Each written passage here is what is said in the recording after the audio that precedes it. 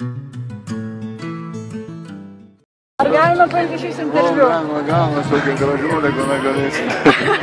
Noriu paklausti, kas jums yra tiesa ir laisvė kardinolė? Kas jums asmeniškai? Tiesa, laisvė, ką aš galiu pasakyti? Aš jaučiuosi laisvas žmogus.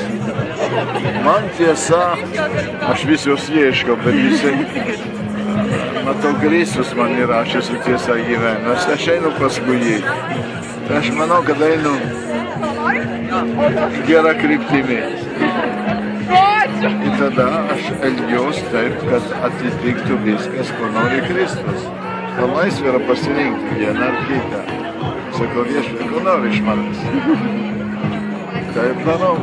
Ir jaučiuosi laisvas, nepriverstas.